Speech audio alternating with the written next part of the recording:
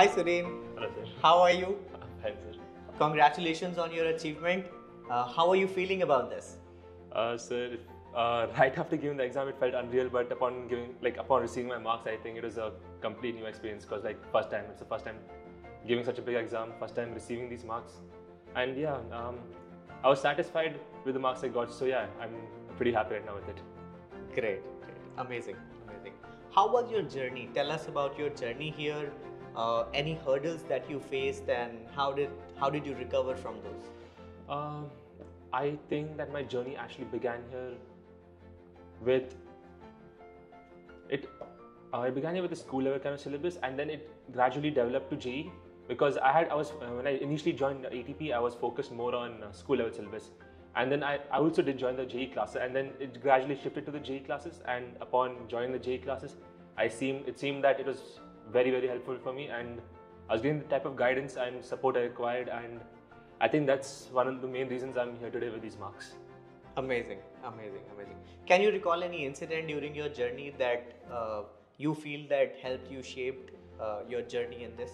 Uh, I yeah, uh, I recall that um, I did have multiple meetings with you uh, concerning the JEE syllabus and my attempts, my efforts towards it, and we did have a few challenges here and there for the tests, uh, tests which I was taking. So I recall having a challenge or challenge or two in which we had it, uh, where we are supposed to meet a certain limit, like certain amount of marks, and the amount of happiness I got after actually meeting that was pretty unbelievable. I think that kind of motivated me, showing me my potential and how much I could actually get.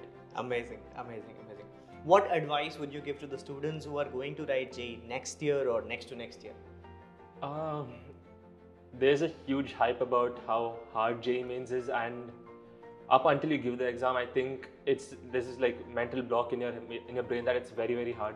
But upon giving the advice, upon giving the exam, it's uh, like you will understand that it's actually much more easy than it seems.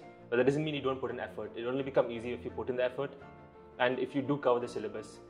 And there is a certain uh, like certain way to take uh, the JEE exams, and um, I'd say that there's certain division of subjects, certain way to focus on the subjects, and I think that as seen in the exams you've taken till now, physics is the most easiest, and then chemistry, and then maths. And maths has usually been the lengthiest.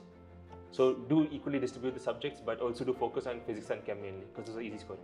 Nice, nice. Okay, okay. So what what kind of support, what parts of ATP did you like the most during this?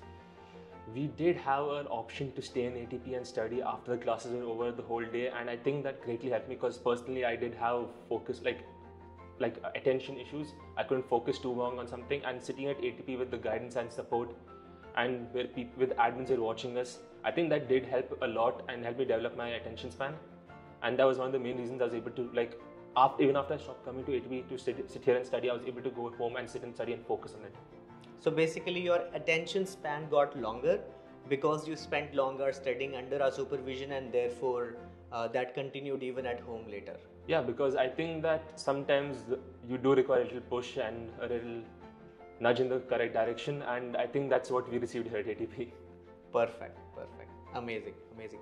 Anything do you want to say to your parents about this? Because they were regularly in touch with me. Uh, yeah, I would actually. I think the, I think the biggest factor in all of, or like in getting how much I got and in getting reaching this stage was my parents' support, because I don't think that with the amount of the support I got to come here in taxi, amount of time I got to go back home, amount of time I got to spend here, and the money for food and whatnot. Without their support and their emo- like them being there emotionally for me and mentally for me also, I don't think so it would be possible for me to survive this one past one two years and come out with these marks. Amazing, Surin. Amazing. I'm, I'm really glad that you gave so much of credit to your parents and you are grateful for the support they also gave you. Yeah. Yeah. Thank you so much. Very happy for you, Surin. Very Thank you, happy. sir.